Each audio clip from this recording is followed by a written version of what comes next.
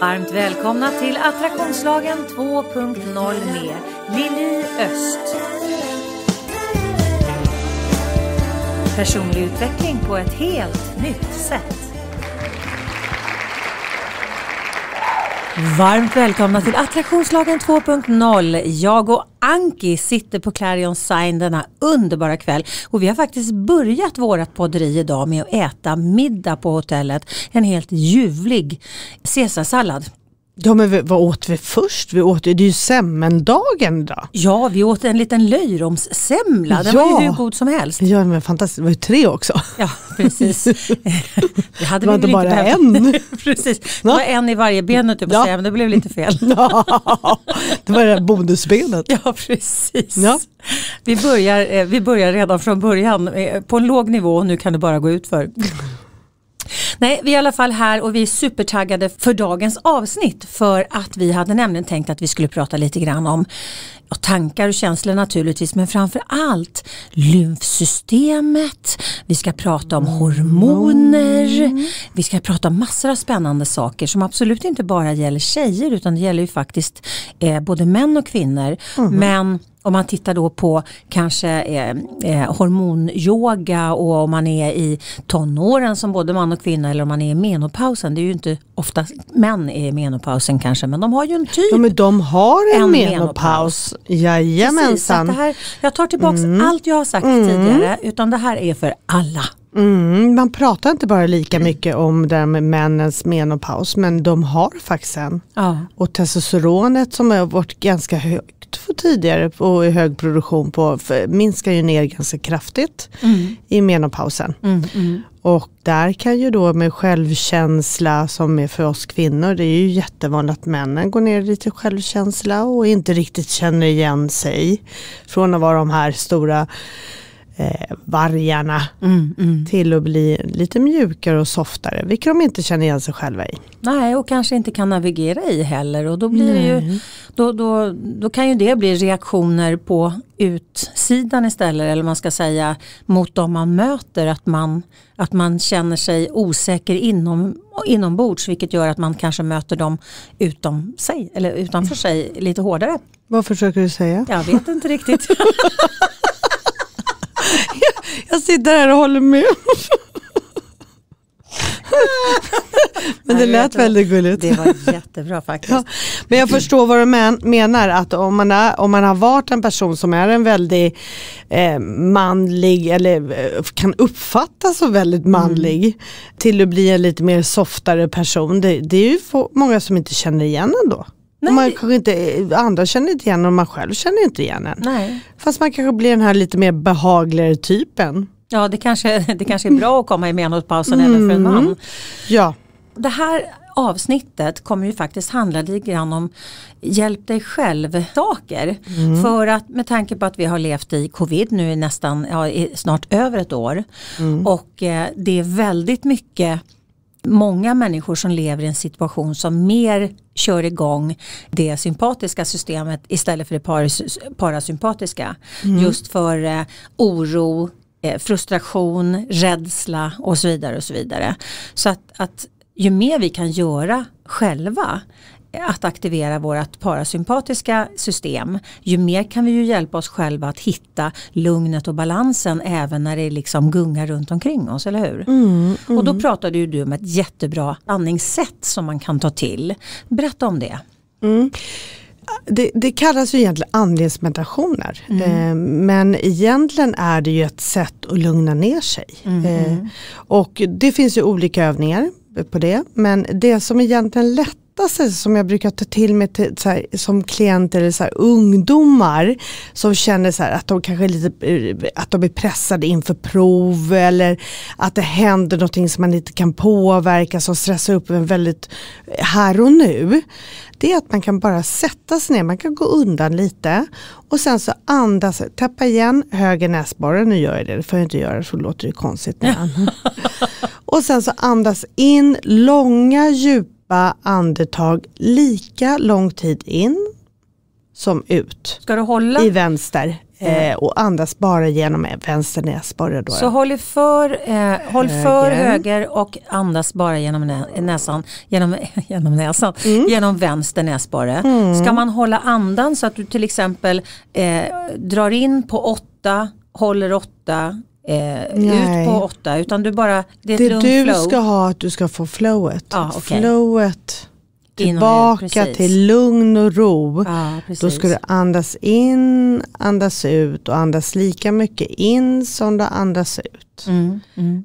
Uh, sen kan du också göra så om man vill ha lite mer avancerat. Man kanske andas in på fyra, håller, andas ut på fyra. Så man verkligen gör det jämnt. Mm, mm. Men egentligen tycker jag när, när du är, är stressad, när det känns pyrt och det är jobbigt just då, gör det inte så avancerat. Nej. Gå bara in, gå undan, sätt det där med din andning. Ja, du kan ju gå in på företagstoaletten eller, ah. eller restaurangtoaletten eller bara liksom, man kan ju nästan göra det lite diskret på tunnelbanan liksom, mm. eller bussen. Mm. Och det vi också pratade om när vi satt där nere i, i, och, och eh, åt vår mat, det var det här skillnaden också när du, när du mediterar eller när du behöver få lite lugn och ro, att sluta dina ögon. Mm, precis. För om man bara gör övningen själv själv att sluta ögonen och som vi såg där nere, det kom massa bilar förbi, det kom folk gående på gatan, det var ljuset. Så allt det där händer ju i vår vardag. Mm. Men om vi bara sluter våra ögon så har vi ju bara oss själva. Det blir inte lika mycket synintryck som hjärnan nej. måste jobba med. Nej. Och hjärnan får så mycket mer lugn och ro. Mm, mm. Eh, och bara koncentrera sig på det du ska göra, din andning. För att få igång det här parasympatiska systemet. Så det är ju ett, ett otroligt eh, verksamt tips tänker jag med hur kan jag göra själv för att påverka mm. om jag kanske är stressad, om jag mår dåligt, om jag tycker att det här är jobbigt, det är övermäktigt att, att hantera det här. Då är det här ett, ett otroligt enkelt sätt att faktiskt jobba med att öka upp det parasympatiska systemet som gör att du får igång ditt lugn och rohormon. Mm. Mm. Det är ju fantastiskt. Men du, med andningen Anki, ja. så berättar ju du också att man påverkar ju faktiskt lymfsystemet mm, mm. genom det. Mm. Berätta mer om det. Eh, vi har ju ett lymfsystem i kroppen mm. och huvuduppgiften för lymfsystemet är att bekämpa infektioner. Mm. Det har också transporterat överskottet vatten, eh, upplösa ämnen, hudvätska, vävnader i kroppen kroppen, framförallt är det så här, om, om man på kroppen eh, är svullen, riktigt svullen i kroppen, så har man ofta lite för mycket lymfvätska. Vi har inte dränerat vår vätska i kroppen, vi har inte fått ut den. Och det kan vara allt från har flygit, det är många som känner igen sig att de blir väldigt svullna, blir inte du det? Jo jag blir svullen när jag flyger Exakt. och jag blir framförallt svullen när jag sitter länge framför datorn. Mm, Då får jag stockar till ben alltså. Mm, för du täpper ju igen de här lymfarna. Ja. Och lymfarna sitter i, i, om man börjar vid, vid nerifrån och ja. upp, så sitter det i knävecken. Mm. Och sen så sitter, sitter den i själva ljumskarna. Mm. Och sen sitter lite högre upp så sitter det under våra armar. Mm. Och sen så då som de här lilla vid nyckelbenen här, ja, lilla, här lilla, håligheten, lilla håligheten ja, där.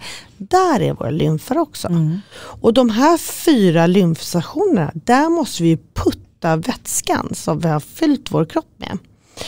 Och eh, jag hade ju under en period när jag var, när efter min skada så hade jag ju så otroligt, jag är ju sydd med 850 eh, stygn, stygn mm. i min mage och eh, runt omkring där bäckenet. Eh, så självklart så stoppade ju den här vätskan upp för den kommer ju inte förbi ärrvävnad. Nej, nej. Nej.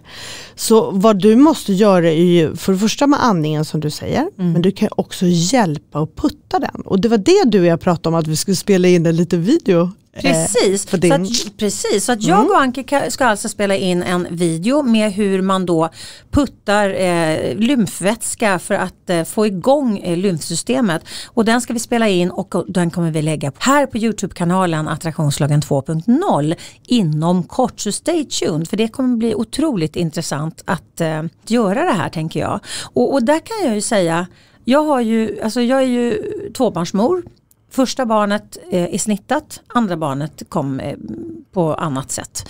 Eh, det andra sättet. Det riktiga sättet. det riktiga sättet, precis. Ja. Det bästa sättet. Det bästa sättet. Ja, men men, Mm. men tim, timmesnittad. Så att jag har ju ett, ett eh, R som går då från höft till höft. Och det, det är ju liksom, det, det är ju verkligen ingen aktivitet där överhuvudtaget. Det är ju liksom, jag har ju inte ens en känsel i det. Och då blir det ju precis som du säger, då samlar man eh, lymfvätska runt omkring det här ärret. Mm. För det puttas inte ner dit och töms ut där det ska. Nej men precis. Men vad är det som gör att, eh, att lymfvätska, hur skapas lymfvätska? Du lyssnar på Attraktionslagen 2.0. Personlig utveckling på ett helt nytt sätt. Det är ju vårt, det är ju vårt försvar, immunförsvar som jobbar med lymfvätska. Det är ju, lymfvätska finns ju i vår kropp. Det är ju naturliga eh, vätskan i vår kropp för att kunna transportera ut slaggprodukter i blodet för att kunna ta sig vidare sen ut i, i kissa ut och Ja. bajsa ute. Ja, ja okej.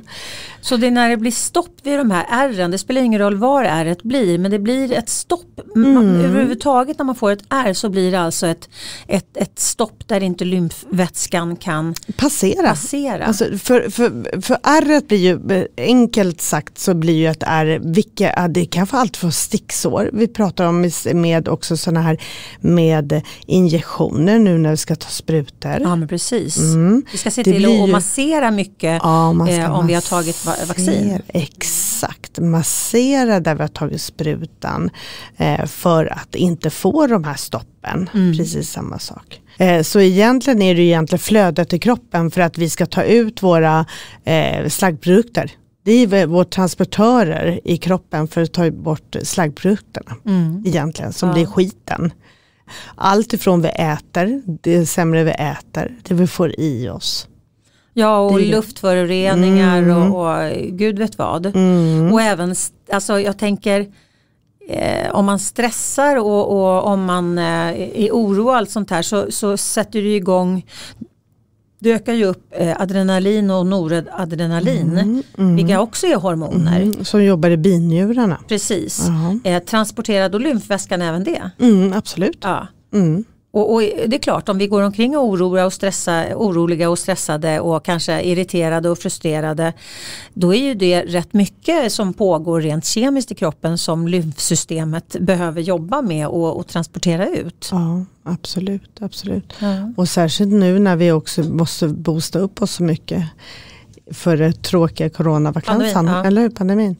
Eh, så måste vi ju vara starka. Mm, Mm. Och då hjälper den här till oss. mm. Och eh, framförallt som vi säger med oro och allt sånt där.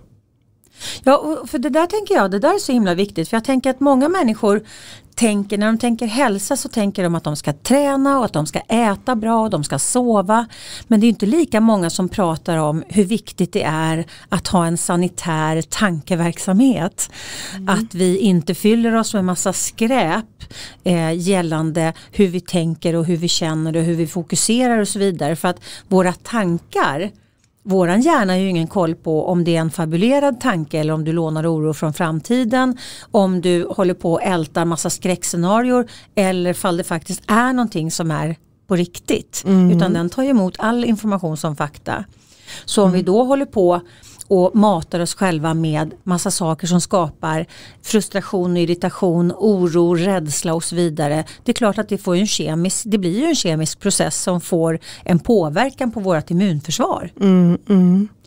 Absolut. Och jag tänker också när du säger sådär att det här med att försöka hitta balansen. Jag, jag sa även det, vi pratade om det där nere, när man kommer de här svackorna ibland, eh, när man äter sämre, kanske sover dåligt i följd av att man kanske äter dåligt, att man kanske inte tränar eller tränar på fel sätt. Mm, mm. I alla fall jag är ju liksom i, i, i, i vad heter det, menopausen, eller manopausen. precis. Manopausen försöker du med, så man kan väl säga manodepressiv så det kanske är manopausen också.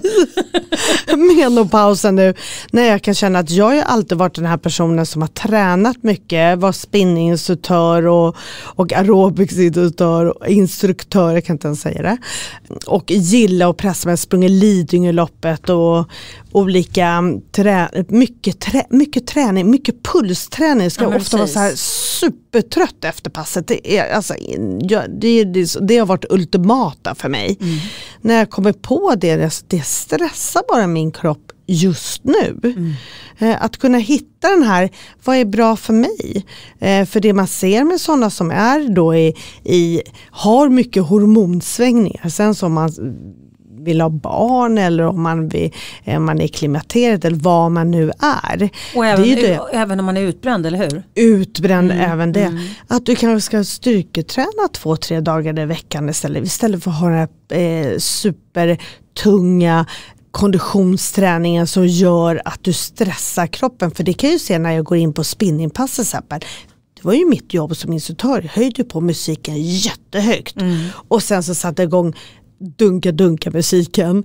Bara för att din puls ska automatiskt gå upp i samma dunka dunka. Ja, vilket precis. gör att det stressar ju kroppen. Det är ju faktiskt det det gör, stressar kroppen.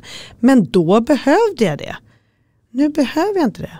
Nu kan jag inte hantera det. Tillfälligt, jag kommer säkert kunna ha ett ta, Men just nu måste jag lyssna på mig själv. Vilket gör att jag gör det. Jag tar hand om mig. Jag tränar på det sätt som passar mig just nu. Mm. Det där är ju jätteviktigt att förstå att bara för att det är så just nu så betyder inte det att det kommer vara så forever. Eh, och det är många som säger, men jag känner inte igen mig själv. Jag vet inte riktigt, det, det, jag reagerar inte som jag brukar, jag känner inte igen mig själv. Jag brukar tycka att det här är jätteroligt nu, är noll in- inspirerad att göra det här. Men att faktiskt acceptera att vi har, att det går i cykler, att det går i, i olika, att vi har olika eh, delar av livet där vissa saker är bättre än andra för oss. Men att vi inte ser det som ett nederlag. Fan, jag kan inte springa maran helt plötsligt. Eller jag kan inte cykla tre mil eh, för att jag mår inte bra av det. Och nu är jag slut som människa. Liksom. Det är många som sätter ett likhetstecken när de inte kan göra det de brukar göra just nu så betyder det att jag kommer aldrig kunna göra det och det betyder att jag är slut. Men livet är ju föränderligt och vissa saker är ju viktiga att vi gör under vissa perioder av våra liv och sen så är de mindre viktiga att göra eh, i andra eh, perioder av vårt liv. Och, och, och den här transformationen som vi går igenom, att man faktiskt har någon typ av acceptans för att bara för att inte det här känns rätt längre betyder det inte att det är något fel på mig. Nej, utan det precis. betyder att jag är på väg i en annan fas. Mm, mm. Och att man liksom tar bort det här rätt och fel, eh, funkar och inte funkar utan liksom så här, nej men nu känner jag in min kropp. och, och, och jag tänker att för mig så, så blev det när jag var hos dig på passet igår då, då på hormonyogan. Du sa hela tiden, du, du landade hela tiden, i alla moment så landade du i, i frågan, känn efter hur det här känns för dig. Vad gjorde den här övningen för dig? Hur kändes den i exakt. din kropp? Både fysiskt och mentalt. Ja, och det var så skönt för att det, jag upplevde, ja men gud det här är ju en fråga jag inte ställer mig själv så ofta. Hur kändes det här för mig? Utan jag gör saker och så det, alltså man, man gör saker och så känns det bra men, men liksom hur kändes det mentalt och hur kändes det fysiskt att separera de här två. Det blev liksom en ytterligare en schattering tyckte jag. Eh, och, och bara, bara få vila i det. Mm, Eh, Det var jätteskönt. mm, mm. Och och jag tänker att det är viktiga frågor att ställa oss själva och framförallt nu när det är liksom krabbsjö. Vi lever i krabbsjö och, och, och det är lite sådär, ja men det är lite påfrestande för många på olika sätt. En del tycker att det är jättejobbigt att jobba hemifrån, en del tycker att det är skitskönt att jobba hemifrån. En del tycker att det är eh, perfekt att slippa rö, rö, röken. på att säga. En del, Det där var jättebra, kom Eller den bra. Ja. Ja. En del tycker att det är jätteskönt att slippa resa och en del saknar resandet så de håller på att bli, bli tokiga. liksom. Så att vi har ju olika stressorer.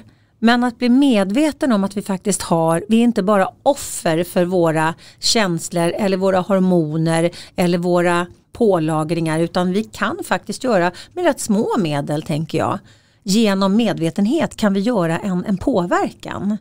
och det, det här som vi pratar om idag det är ju faktiskt rätt små medel men det handlar om en djup kunskap som man kan sätta sig in i mer för att liksom bli ännu mer varse om de här små, små tipsen man kan göra för att faktiskt må bättre. Ja, exakt. Hamnar du lätt i negativa tankemönster? Tar du ut oro i förskott? Känner du att livet skulle kunna vara så mycket mer men du vet inte hur du ska komma vidare? Då är onlinekursen Ta kontroll över ditt liv med såklart-metoden precis vad du behöver. Du hittar den på liliost.se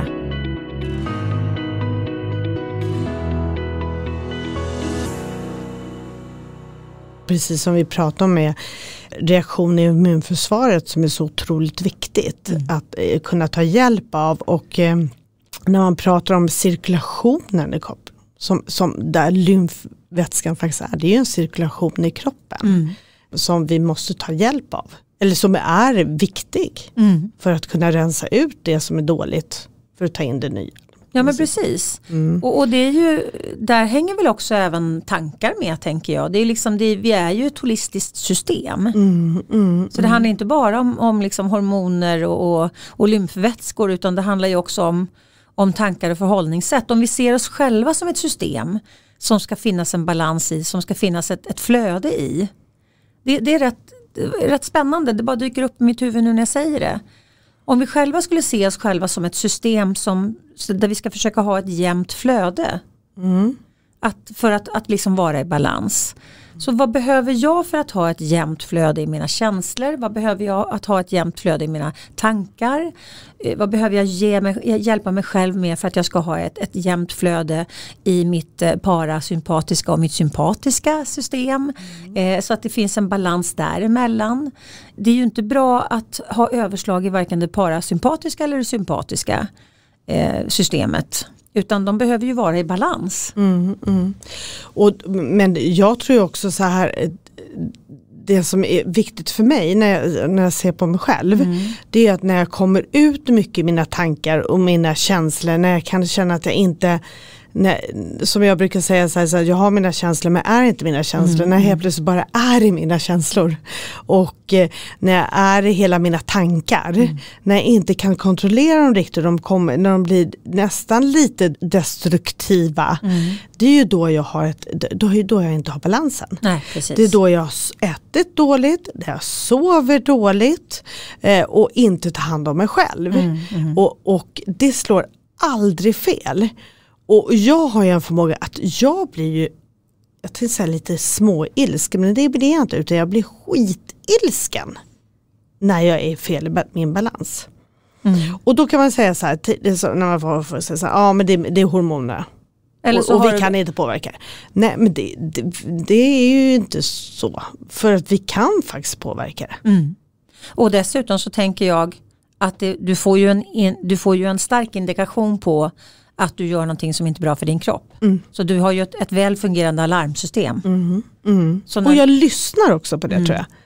För det, ju, det, det, tror jag många håller med mig om. Att vi kanske inte alltid lyssnar på vårt system. Nej. Utan vi har så bråttom iväg eller tänker så här, ja men det blir bättre sen mm. eller och gud nu är jag så här grin igen eller ja, ja men varför, varför är jag det? Vad, vad, är det här för information? Ja, vad är det här för information? Vad, vad, hur ska jag ta vara på den här informationen mm. för att bli av med den så fort som möjligt? För jag tycker inte om att vara i de moden. Nej, men precis. Det gynnar inte mig. Nej, och, och då ställer man ju liksom, då blir det helt plötsligt eh, utrymme för, eh, för följdfrågor. Mm. Eller hur? Om jag nu är i det här modet, hur har jag hamnat här och vad kan jag göra för att hjälpa mig själv att, att transport, liksom transportera mig ja. till ett annat mood. Ja. Eh, istället för bara liksom, åh nej, och sen så bara fastnar man i känslan och så är man i känslan och så är man i tankarna och så fastnar man där och sen så ser man sig själv som offer för situationen istället för att okej, okay, zooma ut, titta, mm. okej, okay, nu får jag in information, jag får en information som jag inte gillar. Mm, mm. Eh, vad kan jag liksom läsa Jag menar det är inte alltid vi, om, om någon ger dig ett papper med information, det är inte alltid du gillar det som står där, men det är i alla fall inte alltid jävligt. läser det alla gånger Nej, heller. precis, nej, nej men bara, om, precis. Ja. Ofta så är det, det så kanske att vi inte läser det om vi inte lyssnar på vårt eget system. Nej. Men även om du får någonting att läsa så betyder inte det att du gillar det, men du får ändå information som du kan förhålla dig till. Mm, mm. Och jag tror också det är så otroligt viktigt, eller jag vet att det är väldigt, väldigt viktigt. Och det, det tog ju du upp en jättefin forskning som har funnits på meditation. Eller ja. som en ny forskning som har kommit. Ja. Eh, som, som jag tyckte bara förstärker det som vi tjatar om väldigt ofta i den här podden. Ja. Eh, det här att vi att kunna meditera och bara ta ett visst antal minuter idag. Mm. Eller varje dag Gärna kväll eller morgon. En del säger att man ska göra det på morgonen för det är man mest upplyst då tänkte säga. Eh, men jag har aldrig direkt fått till mina morgnar utan jag älskar att ta mig tillbaka eh, vid nio tiden och sätta mig lite avskilt och göra min meditation. Jag brukar köra nästan en timme men, mm. men det räcker med en kvart, 20 minuter. Det är till och med tio står det här. Ja, titta. Även tio eh, små doser är, är bättre än inga konstaterar de. Och det här är ju alltså det här var en, en ny studie från USA där man har jämfört då de som mediterar med de som inte gör det. Och, och de konstaterar ju att hjärt och kärlsjukdomar är alltså den vanligaste dödsorsaken i, i Sverige och i världen. Och i åldern då mellan 35 och 70 så har dödligheten gått ner det senaste årtiondet. Och de två främsta orsakerna till det här är dels sjunkande kolesterolnivåer och att fler har slutat röka. Men de säger också att det är sannolikt att meditation kan bidra till ytterligare sänkning av det här, av dödligheten om den erbjuds brett i vården och utanför vården. Mm. Så det här, alltså forskning visar ju att vi skulle kunna dra ner dödsantalet otroligt mycket bara genom att faktiskt addera till meditationen. Mm. Men den här studien då från USA efter att ha kontrollerat då ålder och kön och BMI och äktenskapligt status och rökning och sömnbesvär och depression och so grejer. You name it. Ja, ja absolut. Ja. Då fann forskarna att meditation var förknippat med 34% lägre risk för högt kolesterol, 14% lägre risk för högt blodtryck, 30% lägre risk för diabetes, 24% lägre risk för stroke och hör och häpna 49% lägre risk för kranskärlssjukdom. Mm. Så tänk om läkemedel hade den här effekten.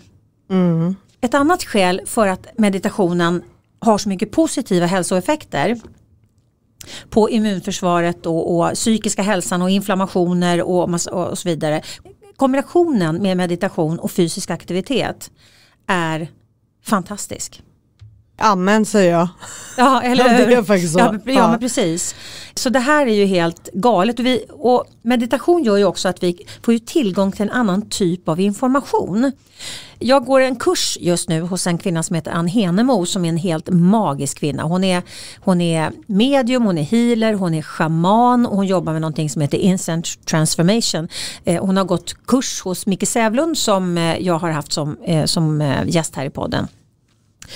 Och hon är jättespännande och jag går en kurs just nu och den första eh, första kursuppgiften vi hade eller första kurstillfället då pratade vi om chakrasystemet. Och så fick vi meditera själva.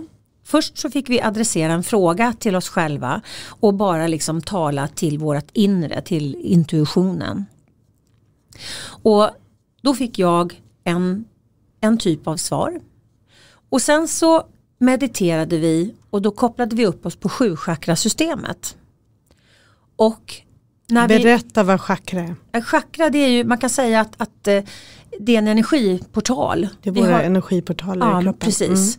Mm. Eh, så att vi har då eh, det grund, grund eh, är sju sju chakror då där vi har rotchakrat och sen så har vi sakralchakrat och navelchakrat, solarplexuschakrat, eh, hjärtchakrat, halschakrat, eh, tredje ögat och kronchakrat. Mm. Det är våra sju. Mm. Sen har vi också ett tolvchakrasystem som är ett utvecklat chakrasystem eh, som, som, eh, ja, som går mycket djupare. Mm. Men när vi Det kan det, inte jag. Nej, jag kan inte det, jag kan inte det som Nej. ett rinnande vatten. Men, men det är otroligt spännande. Och när vi då kopplade upp oss, mediterade och kopplade upp oss på sjuchakrasystemet och ställde samma frågor till oss själva. Så alltså det var så sjuk skillnad på informationsflödet i min hjärna. Varför då? För att jag kopplade upp mig på alltså, mitt högre jag, En djupare dimension. Också. en djupare Aha. dimension. När vi sen kopplade upp oss på 12 chakrasystemet så fick jag ännu mer information. För att då öppnade jag upp ännu mer för att ta emot informationen liksom från, från eh, det kollektiva medvetandet. Och det här var så otroligt Alltså differensen var så otroligt stor. För jag ställde ju frågorna till mig själv, i mig själv. Och det, de svaren jag fick, och det var en, en praktisk fråga. Så att det var liksom inte, det var ingen, det var ingen whooshy fråga utan det var en praktisk faktisk fråga. Och eh, först fick jag väldigt lite information. När jag öppnade upp sjuchakrasystemet så fick jag jättemycket information. Men när jag gick um, in på tolvchakra då fick jag så jävla mycket info så det var helt galet. Så vi satt ju och skrev ner alla de här sakerna. Sen ställde han också en fråga. Om du skulle titta på det här på ett annat sätt, hur skulle det vara? Och då fick jag ytterligare information och då gjorde vi, den frågan fick vi när vi var uppkopplade då mot det här 12 chakrasystemet. Och det här var så jäkla spännande. Vad händer om, om vi till exempel, om, om, ponera nu att du springer fort, du, dagarna är fulla, eh, du har massor av saker som du ska hantera hela tiden. Du kanske har barn på, i skola och dagis, det är läxläsning, det är köra fram och tillbaks till eh, aktiviteter. Du kanske jobbar väldigt hårt på ditt arbete med massa saker, du har massa bollar i luften. Partner om du har någon eller inte. Alltså, du har mycket livsbollar i luften parallellt med dig själv. Och här ska du vara liksom, bara den saken som vi pratade om förut, att, att stänga ögonen för att och, och liksom dra ner intrycken för att hjärnan inte ska behöva hantera så mycket saker hela tiden. Om du tänker hur mycket vi hanterar hela dagarna och i det här ska vi också få tid för reflektion och eh, analys. Om vi då inte har tid med reflektion och analys och så ska vi vara skitsmarta och on top hela tiden och komma på bra saker och, och dra liksom, eh, rätta slutsatser eh, utifrån den informationen som vi kanske får ibland som är knapphändig men vi måste fortfarande dra slutsatser och göra bra val av den informationen vi får. Om vi då tänker att vi är hela tiden i en viss stressfaktor då kommer vi ju inte åt den största delen av våran hjärna. Men när vi mediterar och går liksom in i oss själva, stänger av utflödet och dessutom kopplar upp oss och använder liksom av våra själsportaler till att faktiskt komma djupare och öppna upp eh, uppåt. Då får vi en helt annan information till oss själva. Och vi, kan, vi blir ju smartare naturligtvis eftersom vi ger oss själva tillgång till att möta mer av våran hjärna. På min hemsida liliost.se hittar du massor av matnyttig information både för dig som privatperson såväl som för er som företag. Du hittar mina onlinekurser och vad som är på gång och aktuellt just nu. Du kan köpa mina böcker och få dem signerade och du hittar min musik, bland annat vignettmusiken till podden. Och under fliken gratis har du nedladdningsbara pdf och minikurser som kan hjälpa dig att lyfta ditt liv och teamet till en ny nivå. Och jag tänker så här, vad som händer egentligen första stadiet Mm. som du pratade om där, när, när du gjorde bara en, en, en analys eller tänkte till om den här frågeställningen som du Mm. fick där. Det är egentligen, det är då vårt invanda system går igång. Ja. Våra tankar, våra värderingar, Vårt ego. vårt ego, mina värderingar, eh, mina föräldrars värderingar. Mm. Det, är ju så, det är ju på ytan det vi egentligen har lärt oss, det Ja. har fått tillgång till under vår uppväxt. Det är ju där du födde dina tankar egentligen, eller hur? Mm. Ja. Det var ju inte egentligen vad du behövde innerst inne eller vågade. Nej, för det, det kommer man ju inte åt i steg Nej, ett. Exakt.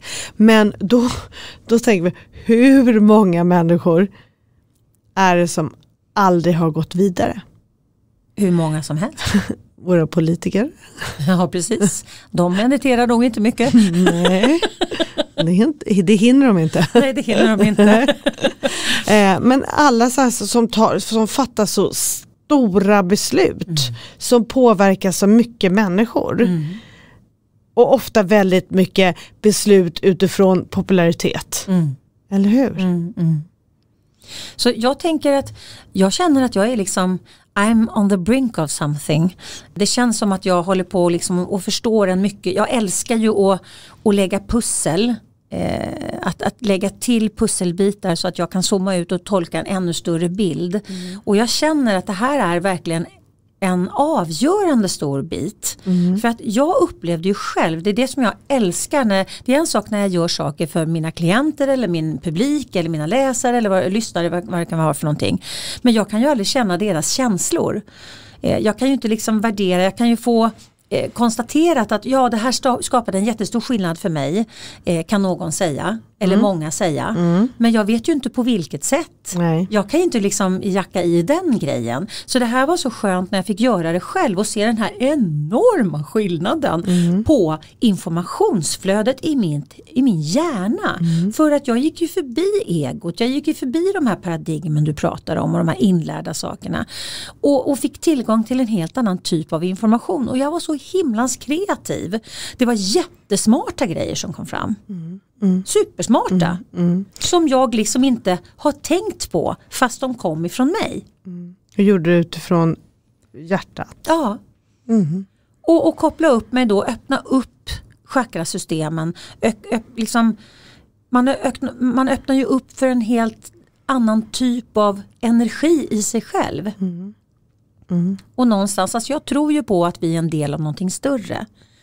Och när du då öppnar upp dina energikanaler så blir du ännu mer del av det här större och då kan vi, alltså det finns ju forskning på som visar att det finns ett, ett kollektivt medvetet, det finns ett consciousness där alla våra tankar och visioner och, och idéer och fasor och rädslor och allting eh, samlas.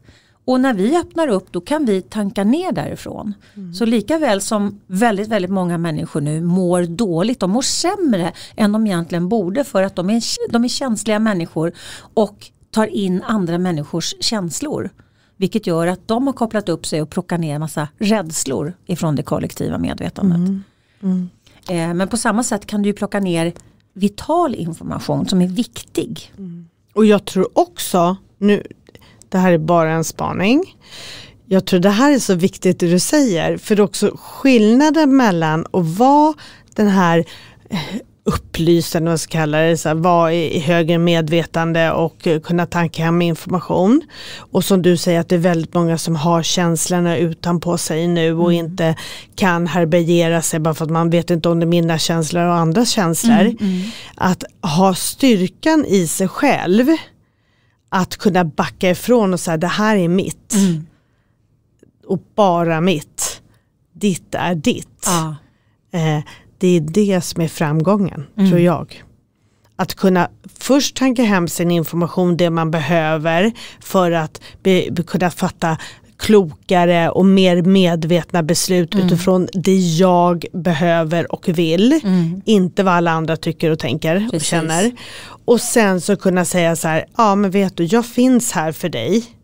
Eh, jag vet din oro, jag vet hur jobbigt det här är för dig. Men ditt är ditt och mitt är mitt. Mm. Och så länge jag ska kunna stötta dig och vara vid din sida och kunna hjälpa dig, då måste jag ha den här gränssättningen. Mm. Ja, här och slutar det, jag och där börjar du. Precis, mm. för annars gynnar jag inte dig. Nej. Nej. Och där tror jag är jätteviktigt att du säger ytterligare en del. Vi är så duktiga på att spinna vidare. Ja, eller hur? Ja, eh, det här hur vi ska kunna finnas där för våra, med, eh, våra nära och kära. Mm. Eh, utan att lägga på våra egna tankar, värderingar, känslor, mm. Eh, vad det nu är. Mm. Eh, utan det här är ditt och det här är mitt. Mm.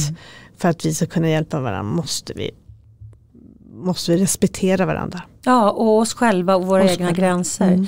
Det mm. finns ett otroligt eh, bra eh, tips faktiskt när det gäller det här att om man, ibland kan det vara så, en del människor är ju väldigt, väldigt liksom hypersensitiva. Mm. Eh, det kan vara så att man sätter sig på bussen, man, man liksom kliver på bussen eller tunnelbanan eller vad det nu kan vara för någonting. Eh, där man träffar människor.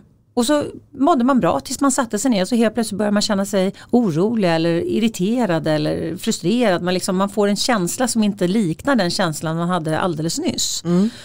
Och, och, där kan ju många människor uppleva, uppleva sig själva som väldigt liksom labila, att man åker upp och ner hela tiden i tankar och känslor. Mm, mm. Men det kan också vara så att man är hypersensitiv och har plockat upp att det är någon som sitter bredvid eller nära dig som har den här ångesten, frustrationen, oro. För att jag menar, vi plockar ju upp med våra hjärtan så plockar vi upp jättemycket information.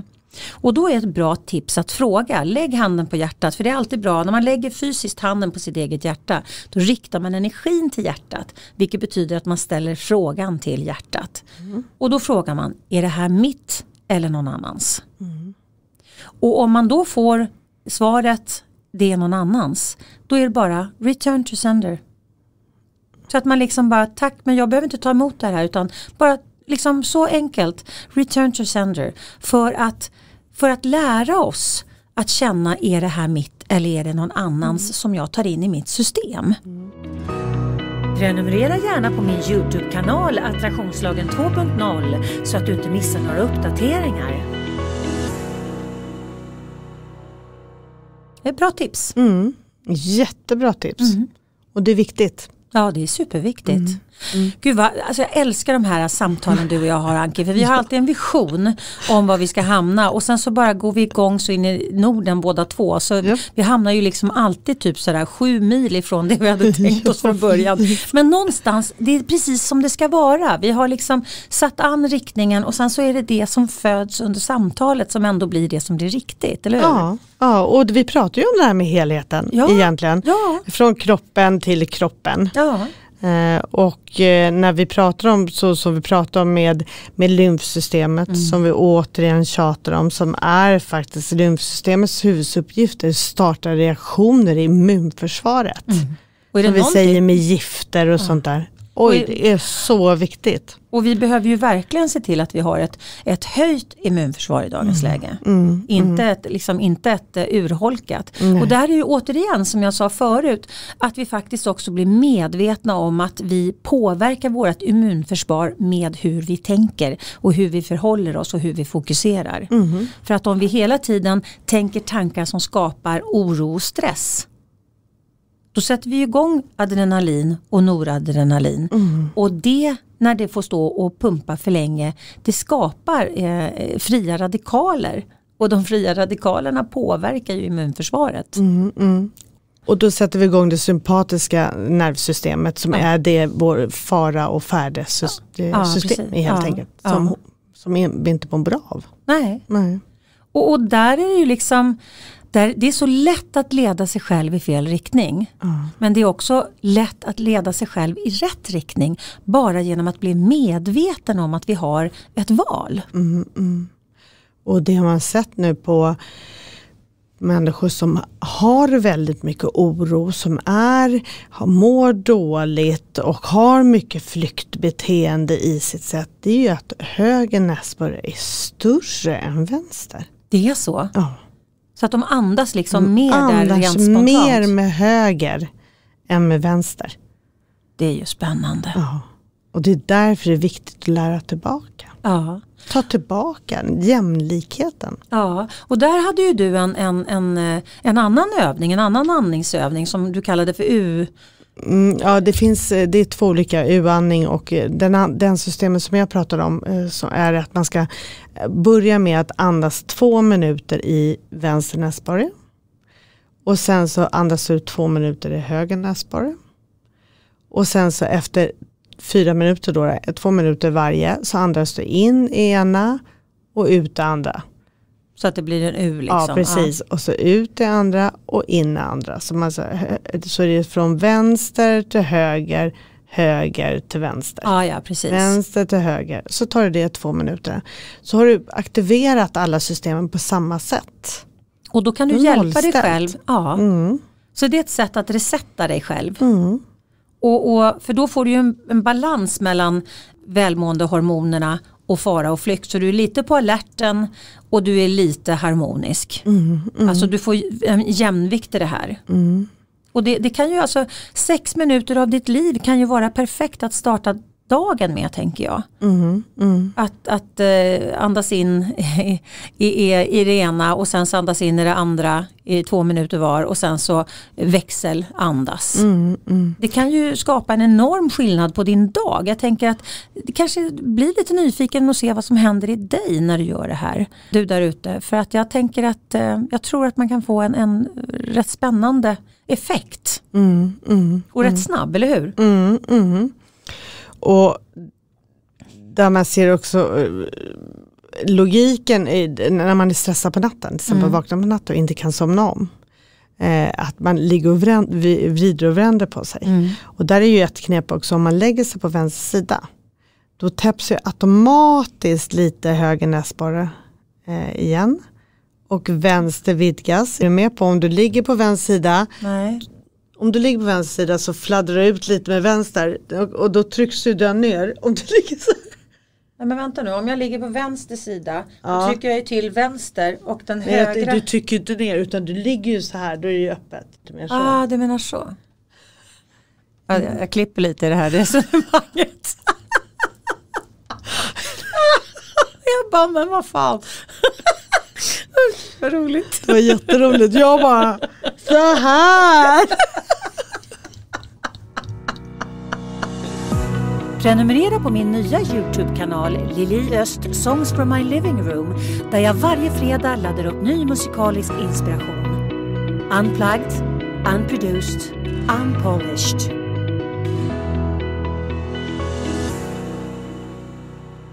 Men du Anke, du pratade ju också om det här med, eh, det fanns ett te som man kan göra för lymfsystemet. För att aktivera lymfsystemet, eller hur? Mm. Berätta. Jag har faktiskt druckit det nästan varje dag, li, lite, alltså ett, ett, kopp te varje dag. Men det som jag I läste en, om, drygt en vecka eller? ja, fast jag dricker nästan jämt. Jaha För okej. jag tycker det, är, det känns bra. Mm. Men det man kan göra är att göra det som en kur. Mm. Och då kan man göra så att man kokar upp två liter te varje morgon, eller te, två liter vatten rättare sagt. Ja. Eh, och så tar man tre lagerblad och fem kryddnejlikor. Och sen så eh, låter du det dra. Mm. Och sen så dricker du det här under dagen, två liter. För att rena systemet eh, med att få igång lymfan ordentligt. Och det är samma sak där att man kanske gör de här andningsövningarna, att man tar djupa andetag. Och gärna det som pratas mycket om i lymfandningen är ju eh, så kallade änglavingar. Att man liksom verkligen tar ut, flaxar med armarna ovanför huvudet hela vägen ner. Som en ängelvingel. Och så man verkligen Vingel? Får, vingel. Ving, äng, änglavingar försöker jag säga. Men då menar du att man tar upp armarna rakt upp i luften, Luften. och sen och så gärna ner. ställer dig på tå. Okej, Ja, så du aktiverar, kommer du ihåg att vi pratade om att Ja, lymfarna precis. fanns ju där i knävecken, I knävecken också. här, precis. då spänner vi ju våra vader. ja. Och sen så tar vi ett stort eh, andetag ut.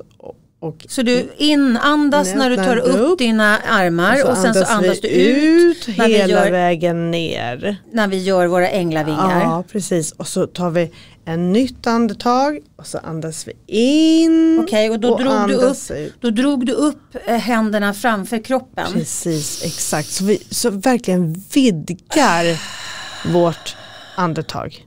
Och sen så gå upp på tå. Mm. Ja, Då får man igång det och det här teet. Fan, våra lymfsystem kommer bli så snygga. Herregud vad det kommer bli bra. Och det är ju som vi pratar om med det här när man flyger. Mm. Eller man har sådana här strumpor som man pratar mycket om. Och Med stödstrumpor ja. stödstrumpor. Som vi ofta har eh, korta stödstrumpor som precis hamnar under knävecket. Ja, Vad är säger vi om inte det? Så, ja men det är Nej. ju inte så Det bra. är inte så alltså, Det är bra. en spaning att, att det täpper ju till lymfsystemet. Mm, det kan man säga. Och framförallt ser vi det ofta, i alla fall jag när jag har sådana fl- flygstrumpor kallar jag det för jag Mm. brukar ha när jag flyger. Jag hade det tidigare innan jag började med så här riktiga eh, strumpbyxor eller träningstights. Mm. Finns det ju ofta. Kompressionstights är ju jätte, jättebra för lymfsystemet. Men det är ju det här att det samlas ju där kanske troskanter, Mm. Bh-kanter, strumpkanter som gör att det täpper igen. Mm. Så det blir vätskesamling. Och då Och ska man blir- massera. Mm, då ska man, men man ska inte ha det ens. Nej man ska inte ha det. Nej. Men om, om man är där, Om man är där då får man massera efteråt. upp mot hjärtat. Mm. Upp till knävecken, förbi knävecken, upp till lymfarna i, i ljumskarna och sen så vidare från eh, armarna neråt. Ja Så man precis. puttar ut det liksom. Så att eh, de, de lymfkörtlarna som är Det ska vi ju visa. Precis, det är vilken cliffhanger. Ja, alltså, alltså stay tuned på, precis. på Youtube-kanalen för här kommer det nämligen bli lymfmassagedans. Ja, och sen så återigen vad vi alltid pratar om det här med antiinflammatorisk kost Mm, som hjälper vårt system. mm. Med gröna bär och kål, blomkål. Gröna bär. Gröna, gröna blad. Jag kan inte prata idag.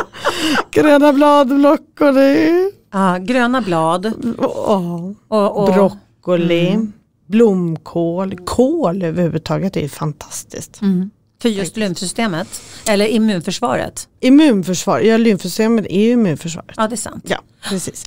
Och det här antiinflammatorisk kost. Mm. Jag gör, jag gör en, en shot eh, som jag brukar göra, en flaska så här, räcker kanske för mig och Nathalie en, en vecka, dryg vecka. Mm. Då tar jag citron och ingefära och kör den i eh, juicen. Och sen så hänger, häller jag på, eh, så spär jag ut med lite vatten och sen så häller jag ner eh, gurkmeja och lite svartpeppar. Mm. Och det, en sån shot tar vi tillsammans med D-vitamin varje morgon. Mm. Och det är bra, man håller sig frisk och kry. Mm. Mm. Det hjälper kroppen. Ja, Mm. Och jag märker faktiskt skillnad för Nathalie har lite dåligt immunförsvar men sen jag har börjat tvinga henne att dricka det här eh, så är hon inte sjuk lika ofta. Ja. Det är jättebra. Så att det, ja. Och probiotika, ja just det. det pratar vi allt om. Ja. Jag käkade min sista probiotikatablett i morse faktiskt så att jag måste köpa ny. Mm. Mm. Och probio- för att det, Det är, är ju faktiskt, jättemycket i tarmen. ja. Och, och det är så spännande för, sitter ju i tarmen. ja. Och vad sa du, 80 procent? Det var väl det vi pratade om där nere när vi satt och pratade. Vi pratade om serotoninet pratade vi om. Det här med som är så viktigt med vakenhet som styr egentligen vår sömn, vakenhet, sinnesstämning och smärtupplevelser och sen så eh, mättnadskänsla, hungerkänsla, impulskontroll och överhuvudtaget. Så serotoninet hjälper oss med. Eh, och eh, då är det väl så här, det bildas i hjärncellerna och så mycket som 80% bildas i mag och tarmkanalen av serotoninet. Det visste faktiskt inte jag. Nej inte jag heller och det är ju otroligt intressant för att ny forskning visar ju också att jättemycket, det är, alltså, det är en enorm stor koppling mellan hjärnan och tarmarna. Mm, det är inte så konstigt, Nej, eller hur? nej absolut inte. Ja. Och, och serotonin, det är ju också det som är viktigt vi pratar om med det här med antingen där när man är i klimakteriet för, för melatoninet är ju det som går ner jättemycket. Det är därför vi inte sover. Mm. i, i, när man är i klimakteriet. Då då. Eh, det är att serotoninet är ju ett förstadie till melatoninet. Man behöver serotoninet för att kunna utveckla melatonin.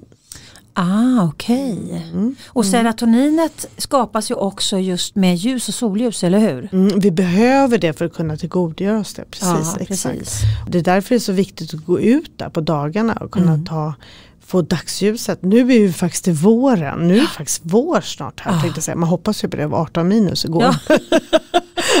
Men det här ljuset, det här solljuset Ja. vi får. Det är, alltså, man blir ju frälst. Ja, man blir, det är magiskt verkligen. Ah. Allting blir mycket enklare och om man tittar då på hur många månader om året som vi har så här mörkt Mm. då behöver vi vara lite fyndiga med alla andra sätt att påverka eh, så att vi får liksom en höjd serotonin och melatonin och eh, oxytocin eh, i kroppen. Ja, för vi får ju inte, om vi inte ens har serotoninet eller får serotonin, då kan vi ju inte utveckla melatoninet. Nej. Så det vi redan körda där. Och, eh, och serotoninet påverkas ju jättemycket av negativ stress. Som vi har pratat igenom genom hela det här programmet. Ja.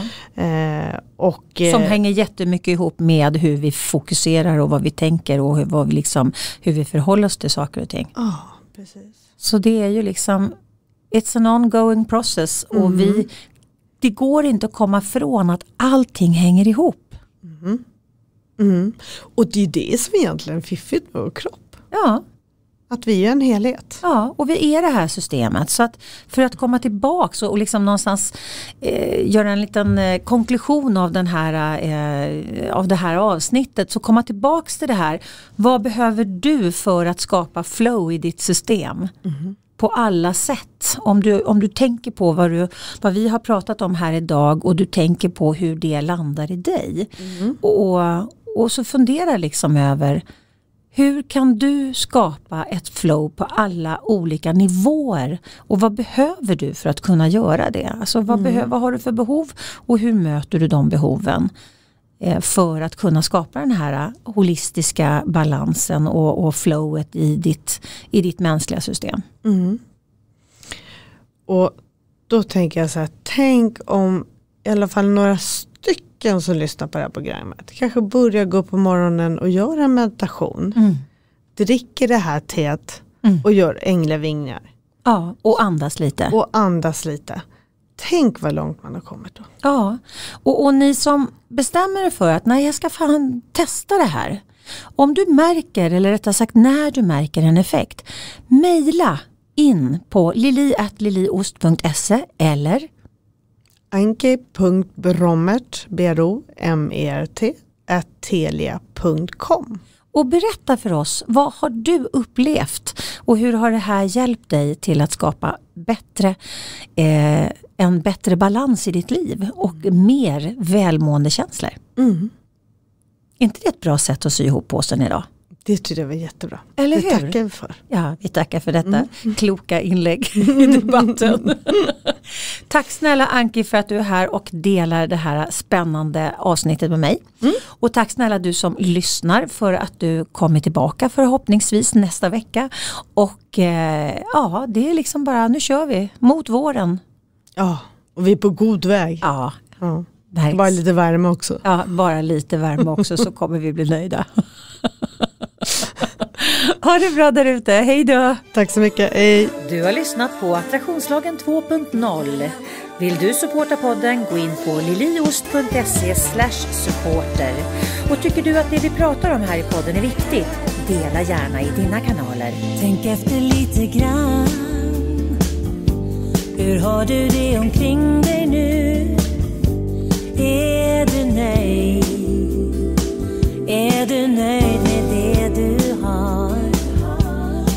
Är du i ditt liv? Har du funderat på att ta ett annorlunda kliv?